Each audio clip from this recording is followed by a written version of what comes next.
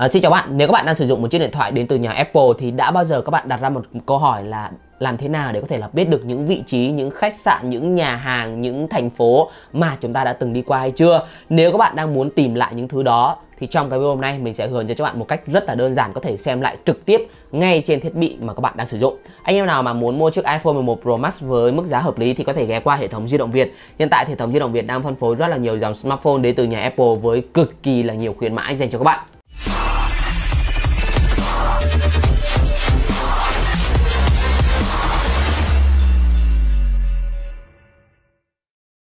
Và cái tính năng này thì nó đã có sẵn ở bất kỳ một chiếc điện thoại iPhone nào mà chúng ta sẽ không cần cài đặt thêm những cái ứng dụng ở bên thứ ba. Những bạn các bạn chỉ cần có một chiếc iPhone các bạn bật định vị GPS là ngay lập tức tính năng này sẽ được kích hoạt mà thôi.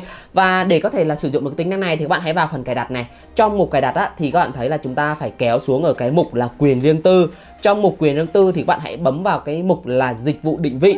Trong cái mục dịch vụ định vị thì các bạn hãy đi xuống ở sâu sâu ở phía dưới nha. Sâu ở phía dưới thì chúng ta sẽ có phần là dịch vụ hệ thống này trong cái mục dịch vụ hệ thống thì các bạn lại di chuyển xuống cái vị trí quan trọng. Thì ở cái vị trí quan trọng này thì nó sẽ xác nhận, một là xác nhận Face ID nếu mà chiếc điện thoại của các bạn hỗ trợ Face ID hay là vân tay hoặc là mật mã để có thể là mở khóa được màn hình. Và khi mà các bạn đã vào được đây rồi, thì các bạn có thể xem lại được tất cả những lịch sử mà chúng ta đã đừng từng đi qua cùng với chiếc iPhone như thế này. Ví dụ như là ở thành phố Hồ Chí Minh này, nó có thể là ví dụ như ngày hôm qua thì mình có sang bên Asus để có thể là trả được chiếc ROG phone.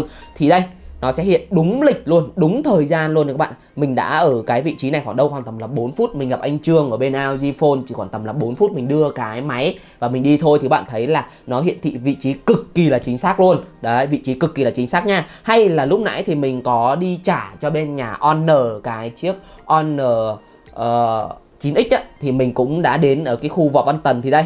Cũng thời gian cực kỳ là chính xác các bạn ạ. Thời gian của mình ở cái vị trí này là từ ngày 11 giờ 21 cho tới là 11 giờ 25 Mọi thứ thì rất rất là chính xác luôn. Wow, đây là một cái tính năng mà mình nghĩ là kể cả nam hay là nữ của chúng ta thì cũng đều rất là cần. Ví dụ như là à, những bạn nữ đi những chị những mẹ hay những em những bạn gái thì có thể biết được là chồng hay là người yêu của chúng ta đang đi đến đâu đã từng đi đến đâu đi với em nào đã đi vào cái gì thì có thể là sử dụng cái tính năng này để có thể là kiểm tra lại chiếc điện thoại của chồng hay là người yêu mình, hay là những bạn nam thì cũng có thể xem được là mình đã bị mọc bao nhiêu cái sừng.